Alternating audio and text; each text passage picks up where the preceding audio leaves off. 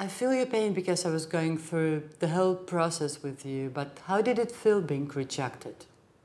I mean, when we came here and I said that afternoon that I would love to adopt him, I didn't know what a can of worms I was going to open. Um, and it led to us abandoning our hopes for adopting him because the last person who was being thought about was Lev and his brother Artemis.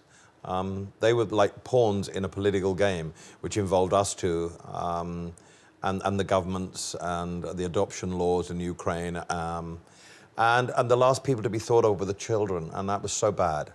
Um, so now they are out of the orphanage. Um, we're very happy about that.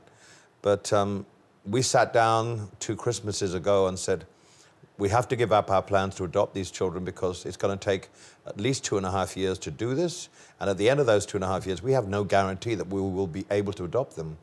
Um, and so that's another two and a half years that they have to stay in the orphanage. You know, every child needs nurturing.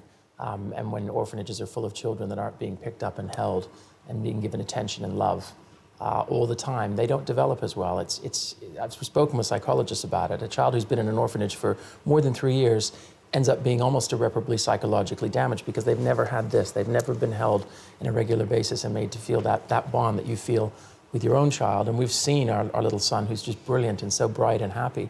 Um, and we're just showing him all the love we possibly can, and he's responding to that. And you think of how well Zachary responds to love and affection, and you think of all those children that don't get that, it breaks your heart. It makes you angry.